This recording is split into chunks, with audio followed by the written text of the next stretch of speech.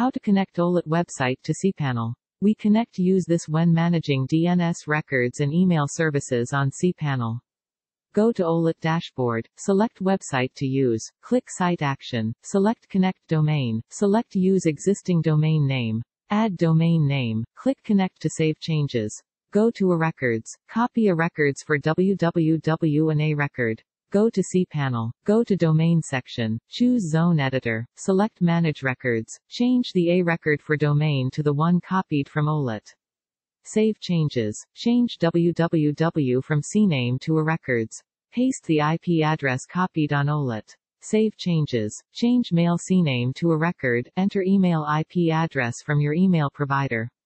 Save changes. Go to MX Records. Change the MX destination to mail.your domain name. Save changes. Allow 3 hours for changes to take effect online.